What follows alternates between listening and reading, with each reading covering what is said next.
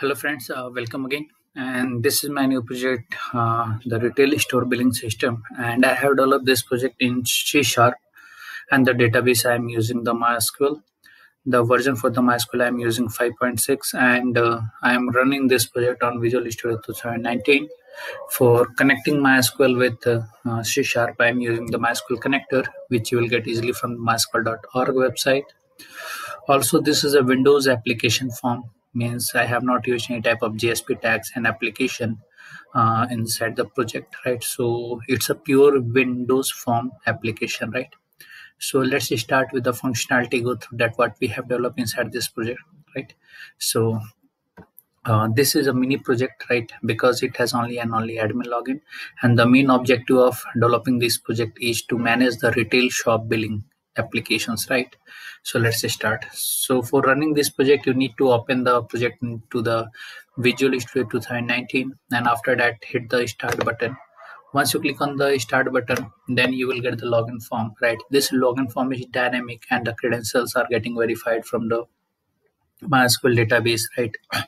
So for mysql you can use the jam server right? And you can import the sql file which we have provided to you. And after that you can easily um, you can say uh, log inside the system uh, uh, and the details are uh, we are using the users table for login right? So the user id is admin and the password is test right? So once you log inside the system it will show you the splash form. This is a splash form. It's a loading the application right?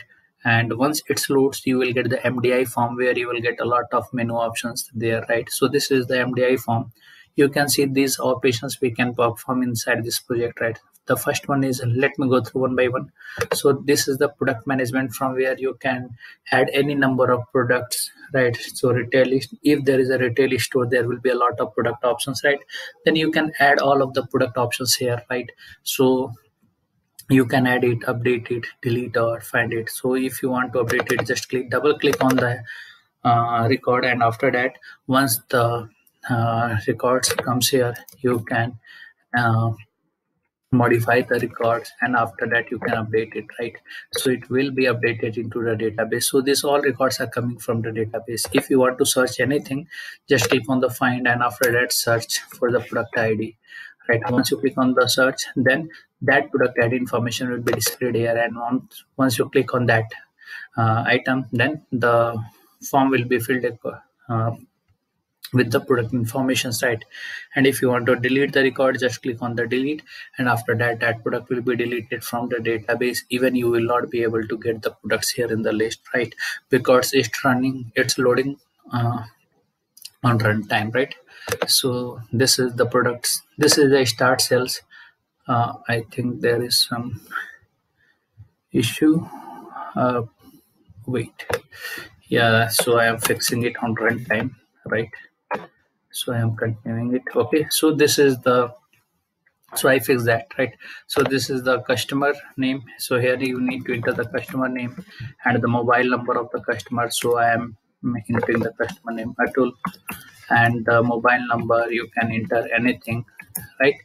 And once you click on the start order then it will load all of the details right? So this is the product drop down from where you can choose the product and the quantity. So these all things are dynamic right? So suppose if you want to add the 50 50 biscuit then just quantity 2 then you can see here the order item id is 11 and the product name is 50 50 the order price is 5 quantity 2 to total 10 right? The all things will be dynamically calculated. Suppose i am buying three Horlicks, then you can see the items are getting calculated automatically. Right? Suppose if you want to delete this item, just double click on that, and it's asking, "Are you want? Are you sure to delete this item?" If you click on the a, yes, then that item will be deleted from the cart, right? And if you add any other items, then you can add it from here, right? So you can see the items are getting added here right. So once you complete the things so one more thing i want to show you the order id and date is uh, filling automatically after creating the order right? Once you click on the save order then it will ask that what type of payment type you are taking. So credit card debit card cash right? And description you can uh, add your description here right? And confirm once you click on the confirm then all of the details will be saved into the database and you can access it later also in the report section. So this is the report section.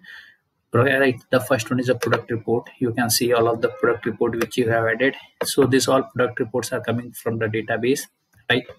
And if you want to see the sales report all of the sales you can see this is a sales report. And the last order id is 7 and you can see uh, the sales report here right so this is the sales report right? This is a change password. If you want to update your account password then you can enter your old password new password and confirm password. After that you can change your account password. This is a about project. This is a static page. And if you want to change the informations if you want to add your name then you can add your name here right so the last one is the exit button. Once you click on the exit then application will be closed right? And if you want to rerun the application just click on the start button and after that you can rerun the application right? So these all these all functionalities i have developed inside this project uh, which i have developed in c sharp windows application and database i'm using the mysql. So this is a mini DBMS project because we are performing the database operations here, right? So if you need more functionality in this project, just put it into the comment. I will incorporate those changes. I will make this project more better and better according to requirements. And don't forget to subscribe our channel for getting the latest projects videos on the latest technologies. Thanks for watching the video. Thank you very much.